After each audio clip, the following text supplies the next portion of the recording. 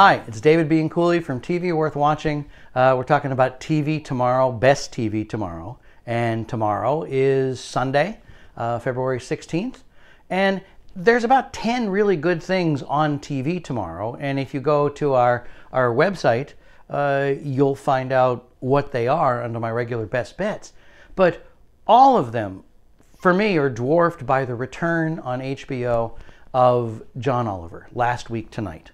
Uh, such a smart show, probably the best compendium and analysis of news anywhere on television, whether you're talking about uh, straight or comedic. So watch it. I mean, how much more excited can I be? HBO, John Oliver, tomorrow night.